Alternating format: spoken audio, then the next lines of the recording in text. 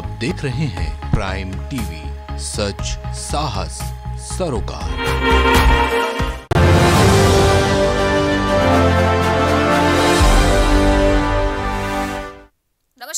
प्रदेश की खबरों में आपका स्वागत है। मैं हूँ आपके साथ अनुष्का सिंह और चलिए रुक कर लेते हैं उत्तर प्रदेश की तमाम बड़ी खबरों की तरफ़। उत्तर प्रदेश में इस वक्त चुनावी माहौल गर्मा गया है। सभी दलों की ओर से बहुमत का दावा पेश किया जा रहा है।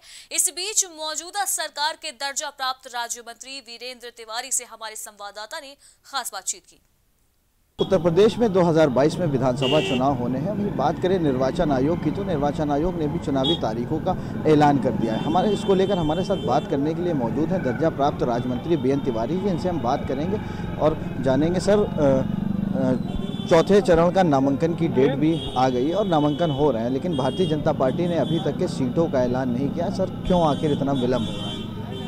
नहीं 403 विधानसभा चुनाव होने जा रहा है। अधिकांश सीटों की घोषणा पार्टी द्वारा हो गई है। लखनऊ में हमारे सभी ज़्यादातर विधायक हैं, केवल मोहल्लान छोड़ करके। पार्टी नेतृत्व ने विचार कर लिया है, किसी भी समय उन विधानसभा सीटों पर प्रत्याशी घोषणा हो सकती है। सर बेरोजगारी एक अहम मुद्दा 2022 के चुनाव में बनता है और विपक्ष लगातार मौजूदा सरकार को घेरता आ रहा है। सर, किस तरह से देखें प्रदेश की योगी सरकार ने लगातार समाज के सभी वर्गों के उत्थान विकास चिंता की है। नौजवानों, युवाओं को भी रोज़गार देने का काम किया है। पूरे प्रदेश में विभिन्न योजनाओं के माध्यम से लगभग 18 लाख युवाओं को रोज़गार देने का काम किया है। स्वयं उद्यम लगा करके सरकार विभिन्न योजनाओं के माध्यम से युवाओं ने रोज़गार पाया है, उसका लाभ ले रहे हैं। विपक्ष पास विकास इतना ज़्यादा भाजपा सरकार ने किया है, उनके पास कोई मुद्दा नहीं है। इस नाते वो अनर्गल लाभ कर रहे हैं। भाजपा ने पाँच साल में जो विकास के कार्य किए हैं, केंद्र की मोदी सरकार ने जो साढ़े सात साल में विकास कार्य किए, उससे जनता पूरा लाभान्वित हुई। विभिन्न प्रकार की योजनाओं से उनको लाभ मिला है। प्रदेश का मतदाता प्रसन्न है। और 2017 के चुनाव से आगे बढ़कर 2022 के चुनाव में प्रदेश के मतदाता 300 से अधिक सीटें जीत जिता करके फिर से प्रचंड सरकार भाजपा बनाएगा। सर पश्चिमी उत्तर प्रदेश की अगर बात करें जिस तरह से किसान आंदोलन भी चलता रहा और इस वक्त भारतीय जनता पार्टी के जो शीर्ष नेता हैं वो लगातार पूरी तरह से पश्चिमी उत्तर प्रदेश में चुनावी मैदान में उतरे हुए हैं। सर क्या लगता है कहीं ना कहीं किसानों में अभी भी नाराज़गी बाकी है? कोई नाराज़गी नहीं है। प्रदेश के चुनाव में पार्टी के सभी वाले राष्ट्रीय नेता हर विधानसभा क्षेत्र में प्रवास करेंगे। 2019 लोकसभा चुनाव प्रवास किया था 2017 चुनाव प्रवास किया था। प्रथम द्वितीय चरण का पश्चिम क्षेत्र में चुनाव चल रहा है। प्रचार में पार्टी पास इतने नेता हैं, सब अलग अलग जाकर के प्रचार कर रहे हैं। किसान और जाट, कोई भाजपा नाराज़ नहीं 2017 में 2019 में जाट समाज के मतदाताओं ने भाजपा को तब था। वोट किया था 2022 के चुनाव में भी किसान हितैषी सरकार किसानों के लिए लाभ के काम करने वाली सरकार इस नाते जाट और किसान सब भाजपा वोट करेगा। तो ये थे हमारे साथ दर्जा प्राप्त राज्य मंत्री बी तिवारी जिनका साफ़ तौर से ये कहना है कि अ, 2022 के चुनाव में भारतीय जनता पार्टी फिर 300 से ऊपर सीटें लाने वाली। है और रही बात किसानों की तो जिस तरीके से लोग कह रहे हैं कि किसान कहीं ना कहीं नाराज़ हैं तो इनका साफ़ तौर से ये कहना है किसान बिल्कुल नहीं नाराज़ है और पूरी तरह से संतुष्ट हैं। लखनऊ से असर खान प्राइम। वह बिजनौर के नगीना इलाके में डिप्टी सीएम केशव प्रसाद मौर्य खराब मौसम के चलते कार्यक्रम में उपस्थित नहीं हो सके। बीजेपी प्रत्याशी पूर्व सांसद यशवंत सिंह ने जानकारी देते हुए बताया कि केशव प्रसाद मौर्य खराब मौसम के चलते प्रोग्राम में नहीं आ पाएँगे। उनको हिंडन इलाके से नगीना आना था, जहाँ पर खराब मौसम के चलते उनका हेलीकॉप्टर नहीं उड़ पाया। वहीं उन्होंने मोबाइल के ज़रिए ही कार्यक्रम में हिस्सा लेने आए लोगों को संबोधित करते हुए पार्टी की उपलब्धियों को गिनाया। तो वहीं नगीना से बीजेपी प्रत्याशी यशवंत सिंह के लिए वोट की लोगों से अपील भी की। केंद्र की सरकार और प्रदेश की सरकार चल रही है और दोनों सरकार विकास के लिए पूर्ण रूप से लगी हुई हैं। चाहे नेशनल हाईवे की बात हो, चाहे चिकित्सा में मेडिकल कॉलेज खोलने की बात हो, चाहे जनता के बीच में जितने भी सुविधाएँ होती हैं, सामान्य सुविधाएँ, मकान की सुविधा, लेटरिन की सुविधा, गैस सिलेंडर की सुविधा, बिजली की सुविधा, ये सब भारतीय जनता पार्टी के कार्यकाल में प्रत्येक व्यक्ति को मिली हैं। एक विकास का दौर है और उस विकास के दौर में नगीना विधानसभा इसलिए पिछड़ जाती है क्योंकि यहाँ विधायक भाजपा का नहीं है। इसलिए उन्होंने कहा है कि भाजपा को जिताओ और डॉक्टर यशवंत को अगर आप अपना विधायक बनाते हो तो विकास यहाँ पर चरम वहीं प्रतापगढ़ के रामपुर खास विधानसभा क्षेत्र में भाजपा प्रत्याशी के खिलाफ केस दर्ज किया गया है। बता दें कि भाजपा प्रत्याशी नागेश प्रताप सिंह और 250 कार्यकर्ताओं पर लालगंज कोतवाली में मुकदमा दर्ज हुआ है। लालगंज पुलिस ने आचार संहिता का उल्लंघन करने के साथ ही कोविड गाइडलाइंस का पालन न करने और बगैर अनुमति जुलूस निकालने का आरोप लगाते हुए ये एक्शन लिया है।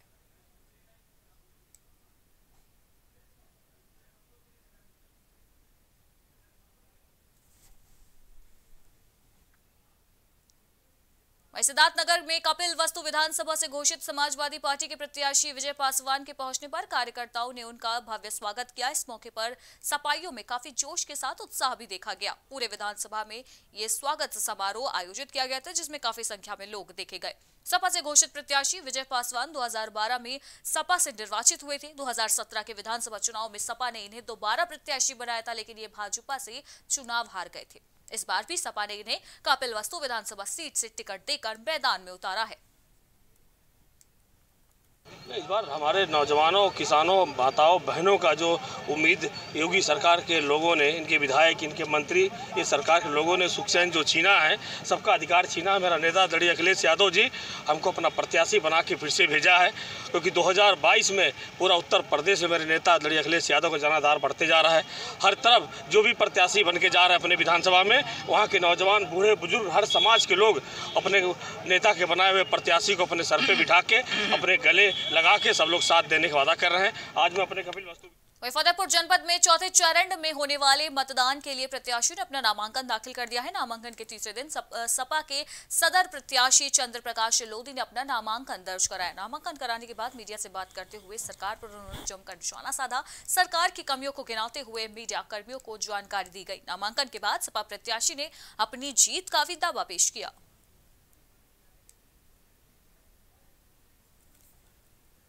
देखिए, हम लोग सबसे बड़ा मुद्दा विकास का मुद्दा चूँकि भारतीय जनता पार्टी की सरकार ने कोई विकास कार्य नहीं किया।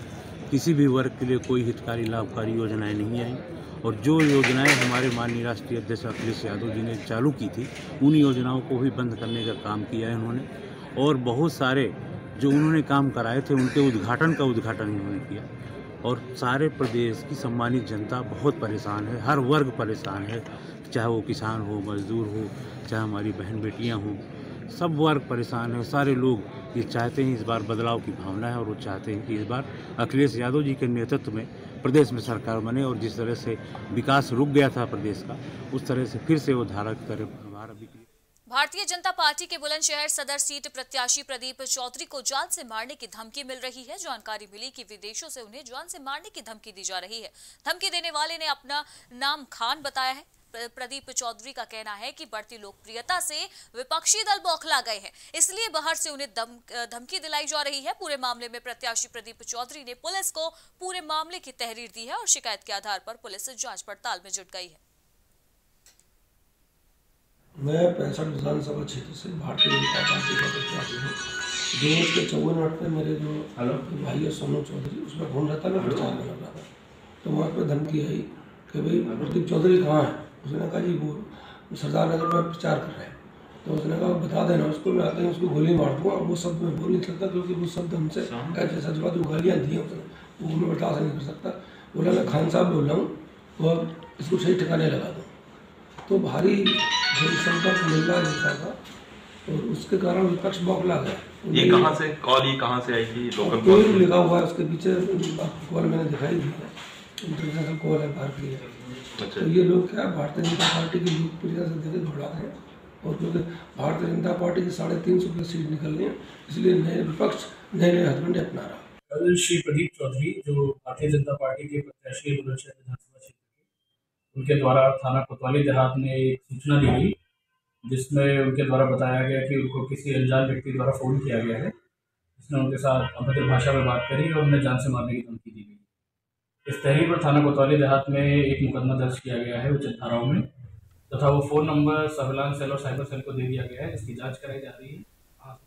वहीं देवरिया में भारतीय जनता पार्टी विधानसभा रामपुर कारखाना के प्रत्याशी सुरेंद्र चौरसिया का सैकड़ों कार्यकर्ताओं ने सुभाष चौक पर माल्यार्पण कर ढोल नगाड़ों के साथ जोरदार स्वागत किया। साथ ही देवरिया सदर भाजपा प्रत्याशी शलभमणि त्रिपाठी के आगमन पर भी कार्यकर्ताओं ने उन्हें माला पहनाकर स्वागत किया है। ज़िले में एक साथ दो दो भाजपा प्रत्याशियों का स्वागत किया गया। वहीं भाजपा प्रत्याशी सुरेंद्र चौरसिया ने बताया कि मुझ जैसे गरीब परिवार के बेटे को भाजपा ने टिकट देकर यह साबित कर दिया है कि भाजपा सरकार गरीब किसान मजदूर और युवाओं की सरकार है।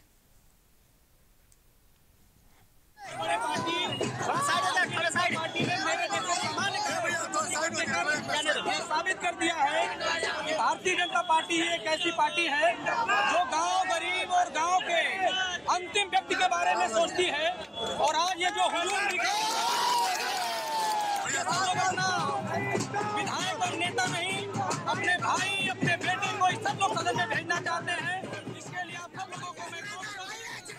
वहीं फरीदाबाद के इमामुद्दीनपुर के सरपंच के भाई पर बड़ा घपलेबाजी करने का आरोप लगा है। सरपंच के भाई पर धांधली करने का आरोप लगाते हुए लोगों ने जानकारी दी कि गरीब के हक को मारा जा रहा है और गरीब परिवारों को योजना के तहत मिलने वाले राशन में भी बड़ी धांधली की जा रही है। ये भी कहा गया कि अधिकारियों के मिले भगत से ये धांधली हो रही है, जिससे कि लोगों को काफ़ी ज़्यादा परेशानियों का सामना करना पड़ रहा है। भीम नाम के डिपो होल्डर का को लेकर यह कहा गया है कि डिपो होल्डर केवल गरीब बीपीएल लोगों के हक का राशन हड़प रहा है बल्कि गाँव में मर चुके लोगों के राशन को भी वो डकार कर सरकारी योजनाओं में पलीता लगा रहा है।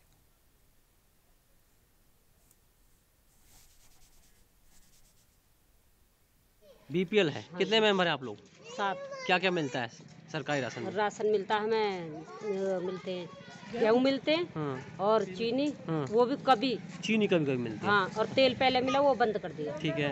एक नमक की थैली मिला है जी अच्छा। वो चीनी के साथ। अच्छा जब चीनी मिलता पिछली बार मिली है वहाँ तो पिछली बार मिली भी नहीं। कभी आ जाए कभी ना आवे। नहीं जो बात है।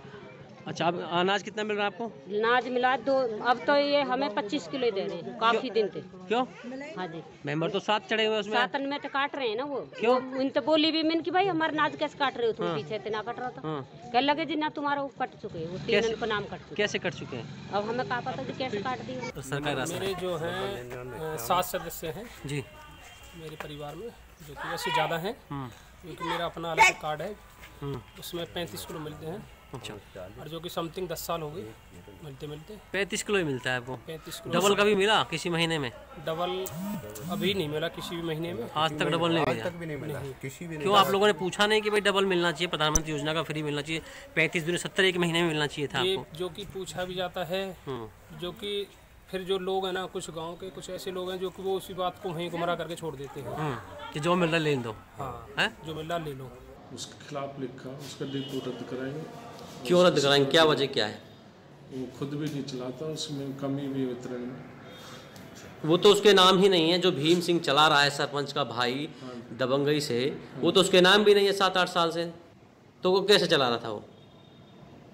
वो लेकिन अभी नोटिस में तो अभी आया सात साल से एक आदमी डिपू चला रहा है सरकारी राशन लोगों का बेच रहा है। हड़प रहा है। आपको आपके अधिकारियों को पता नहीं था क्या? नहीं।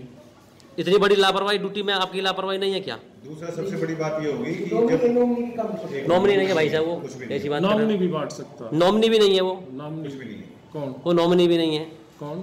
भीम सिंह। हाँ नॉमिनी जिनके परिवार के सदस्य मर चुके हैं दो दो तीन तीन सदस्य मर चुके हैं उनको ये बताया गया कि तुम्हारा इनमें से मर गया इसलिए आपको राशन नहीं मिलेगा। जबकि ऑन रिकॉर्ड अब अब भी चढ़े हुए हैं और डीपू धारक भीम सिंह उनका राशन आज भी हड़प रहा है। वो भी वो देख लेंगे वो काट देंगे मैं तो सात साल से आप लोगों को वो तो देखो कार्ड होल्डर का काम है मेंबर का कटवाना जब से- जब खुद ही जी डिपो होल्डर बता रहा है कि आप कट गया तो कार्ड होल्डर क्या कर सकते? अगली खबर चंदौली से है, जहाँ पर अलीनगर पुलिस ने दो शराब तस्करों से 32 लाख रुपए से ज़्यादा की शराब को बरामद किया है। मौके से दो तस्करों को गिरफ़्तार किया गया। इनके पास से दो अवैध असलहे कारतूस भी बरामद किए गए हैं। मुखबिर की सूचना के आधार पर पुलिस को ये बड़ी सफलता हाथ लगी है। पुलिस ने डाक विभाग के पार्सल वैन से छुपाकर तस्करी के लिए ले जाई जा रही अवैध शराब की खेप को बरामद किया है। पकड़ी गई शराब की कीमत करीब 32 लाख रुपए बताई जा रही है। जानकारी के अनुसार डाक विभाग की टीसीएम गाड़ी में लगभग 215 पेटी में ये शराब ले जाई जा रही थी। ये सूचना मिली इंस्पेक्टर अली नगर को कि डीसीएम गाड़ी में भारी मात्रा में शराब जा रही है बिहार। इस सूचना पर इंस्पेक्टर अलीनगर और उनके साथ के लोगों ने मिलकर के चंद्रखा पुलिया के पास घेराबंदी किया तो एक डीसीएम पकड़ी गई जिसपे डाक विभाग का मोनोग्राम बना हुआ था। पूरी गाड़ी डाक विभाग की लग रही थी।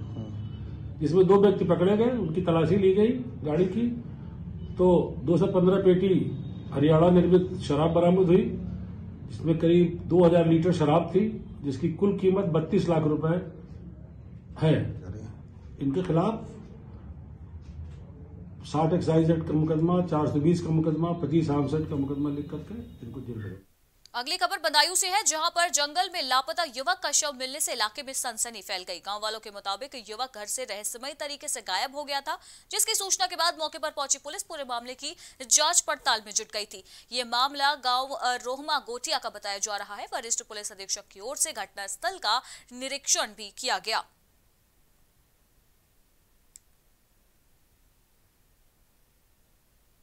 गोटिया गाँव में विशाख, जिनकी उम्र लगभग अड़तीस चालीस साल है। इनकी डेड बॉडी गाँव के ही परिसर में बाहर एक खेत में आज प्रातः मिली थी। इस सूचना पर स्थानीय पुलिस मौके पर आई, मौके का परीक्षण किया गया। पाया गया कि इनकी हत्या शॉल या किसी अन्य साधन से गला घोंट करके की गई है।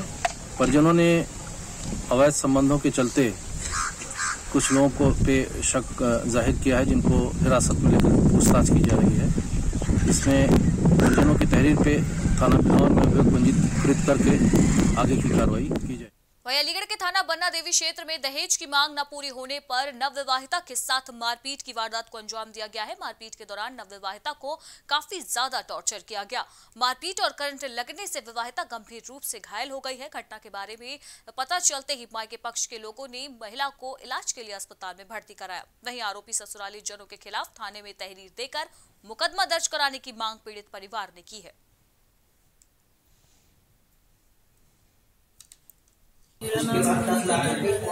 नीतू तोमर, ये क्या हुआ है आपके?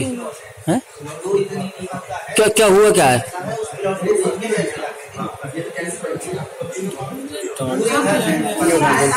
हैं?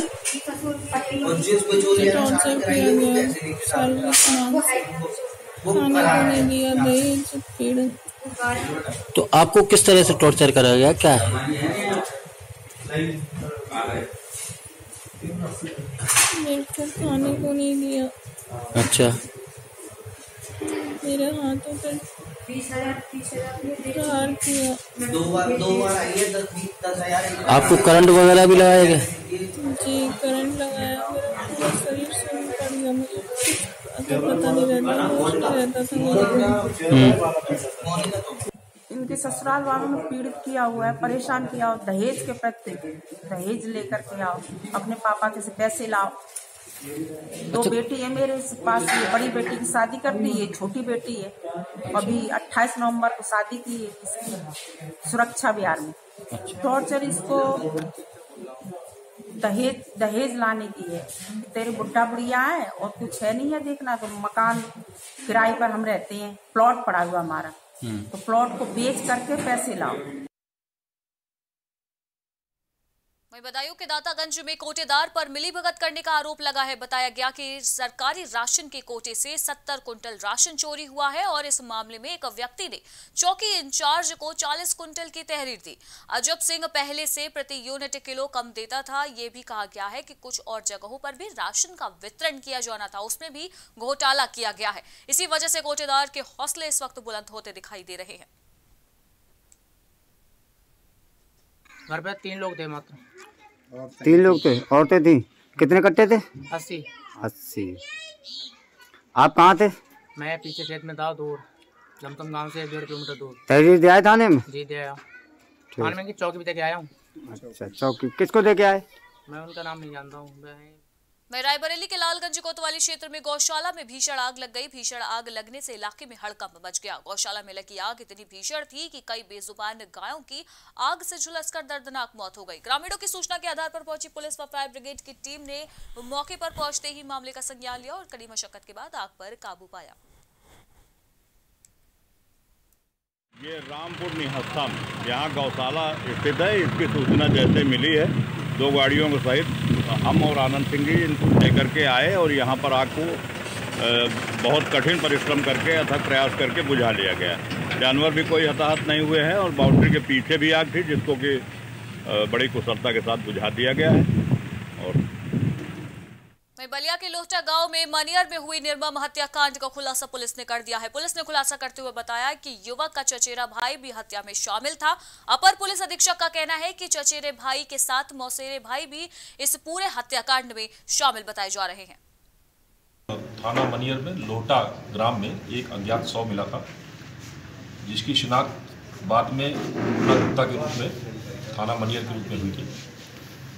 उक्त घटना के अनावरण के लिए थाना प्रभारी मनियर एसओजी हमारे यहाँ की सर्विलांस टीम और इसके अलावा एसओ नगरा इस, इस तरह मिला के कुल पाँच टीमें जो कि एसपी बलिया सिंह ने बनाई थी उनको लगाया गया था।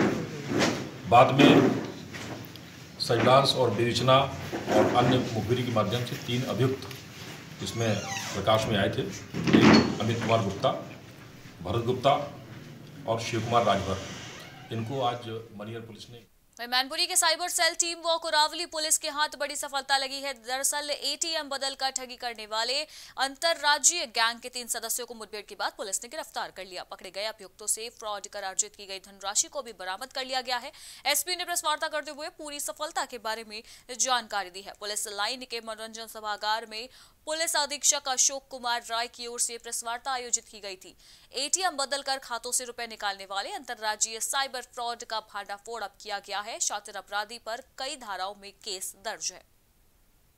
तीन सातिर अपराधी, वसीम अकरम और इंता वसीम जो है, बुलंदशहर का, ये गुंडा के तहत जिला बदर है और दूसरा, ये दोनों अलीगढ़ के हैं और इनसे 59 एटीएम कार्ड साथ में साढ़े पचहत्तर हज़ार रुपये एक अवैध तमंचा, दो मोटरसाइकिलें, और इनका एक लंबी क्रिमिनल हिस्ट्री है। ये वांटेड भी हैं कई जनपदों से, और आसपास के जनपदों कहते हैं ये भोपाल और इंदौर में भी इन्होंने घटनाएँ की हैं। लंबा आपराधिक इतिहास है, और इस पर हमारी टीम ने इस गैंग को ट्रेस किया है। इनको फ़िलहाल आज जैसा आप देख रहे हैं, कैश और सारी चीज़ें बरामदगी के बाद जेल भेजा जा रहा है। इन पर मिर्जापुर में पुलिस के हाथ बड़ी सफलता लगी है, जहाँ पर पुलिस ने तीन कुंतल, तीन ग्राम गांजा बरामद किया है। पकड़े गए गांजे की अंतर्राष्ट्रीय कीमत करीब 60 लाख रुपए बताई जा रही है। गांजे के साथ पुलिस ने दो तस्करों को भी गिरफ़्तार किया है। शातिरों को पकड़ने वाली टीम को डीआईजी ने पंद्रह हज़ार रुपए का इनाम देकर सम्मानित किया। एसपी सिटी ने प्रेस वार्ता करते हुए पूरे मामले का खुलासा किया। देखिए, कल रात में इक्कीस सौ पाँच बजे अर्थात नौ, साढ़े नौ बजे के आसपास पुलिस को टिप ऑफ़ होती है, सूचना मिलती है कि सर्टेन अमाउंट में गांजा जो है कुंटल में यहाँ पर आ रहा है और प्रयागराज की तरफ़ जा रहा है। तो पुलिस इस सूचना पर एक्टिवेट होकर के स्वाट टीम और हमारी जो कछवा पुलिस है, सक्रिय होकर के, भोला ढाबा के पास कटका थाना अंतर्गत कछवा जनपद मिर्ज़ापुर में इंटरसेप्ट करके पकड़ती है, इसमें एक पिकअप पकड़ा जाता है। उस पिकअप में प्याज के बीच में या प्याज से छुपाते हुए पंद्रह बीस बोरियाँ रखी हुई थी गांजा की, जो पुलिस ने पकड़ लिया है और साठ हज़ार रुपये के आसपास भी बरामद हुआ है। इस संबंध में पुलिस जो भी इस एनडीपीएस एक्ट का अभियोग होता है, दर्ज करके। और इसी के साथ उत्तर प्रदेश की खबरों में फ़िलहाल इतना ही। देश दुनिया की बाकी की तमाम खबरों के लिए आप बने रहिए प्राइम टीवी के साथ। नमस्कार।